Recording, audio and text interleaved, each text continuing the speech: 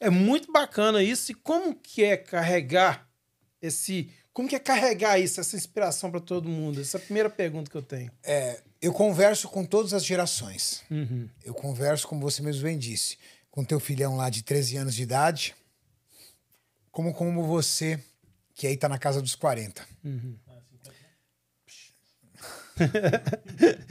já chegou na casa dos 50 já? Não, falta, falta um pouquinho Não. Então pronto, na casa dos 40. Até Aham. os 49 é na casa dos 40. Isso. E por quê? Porque eu sou um gerador de conteúdo dentro da internet. E toda geração de conteúdo eu faço de forma organizada para atingir todas as pessoas. Então, eu falei que esses dias, eu falei, ó, olha que interessante, né? Como a, a, a minha vida é uma vida multi é, ambiental. Eu estava no podcast Os Sócios, com meu amigo Bruno Perini e a Malu Perini, falando sobre marketing, influência digital, foco, disciplina, gestão de tempo, falando com empresários e empreendedores. Eu desci do podcast que fica no prédio do Grupo Primo, é, almocei, peguei meu carro com o Maurício e eu fui fazer um encontro com o MC Daniel, um dos cantores hoje de funk mais famosos do mundo, top 1 no Spotify, em várias músicas já, e um, garo, um garoto maravilhoso que é líder na molecada. Então, no mesmo dia eu tive uma comunicação para empresários e empreendedores, sendo que o meu dia terminou conversando com a juventude. E se você tivesse do meu lado, você não reconheceria os dois Renatos Carianes. Uhum. Não diriam que é a mesma pessoa. Porque a arte do comunicador é saber conversar com o seu público. Todas as pessoas às vezes me perguntam, falam, Renato, me dá uma dica para eu me tornar uma pessoa mais comunicativa. A arte da comunicação é transformar o difícil em fácil.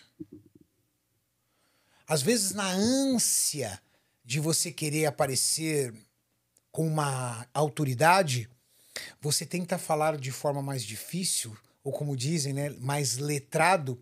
Isso não é ser comunicativo.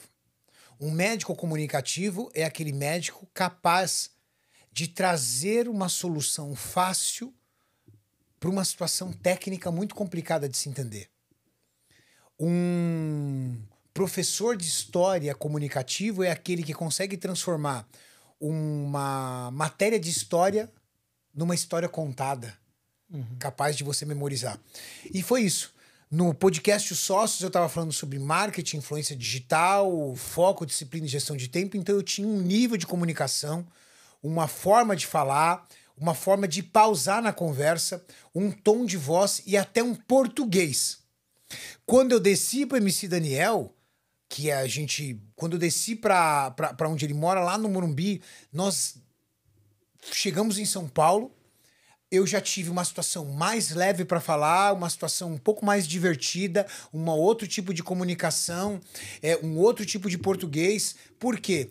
Porque o público, para entender e se conectar comigo, ele precisa receber uma oratória daquela que ele espera dentro da faixa etária dele, uhum. dentro da, do conteúdo. Então, acho que esse é o ponto que me faz ali um bom comunicador. Então, é, é, me conectar com o seu menino e me conectar contigo é algo normal que acontece hoje na minha, na minha vida. Por exemplo, uhum. eu encontro na rua, aí eu tiro foto com o pai, com a mãe, com o filho, com a filha, e eu fico muito feliz. Porque de alguma forma eu acabo impactando na família. Por isso que nos meus vídeos do YouTube é raro você me ver falando palavrão, é raro você me ver fazendo algum termo assim um pouco mais pesado, porque às vezes a família assiste junto. Uhum. Às vezes assiste o marido, a mulher, os filhos.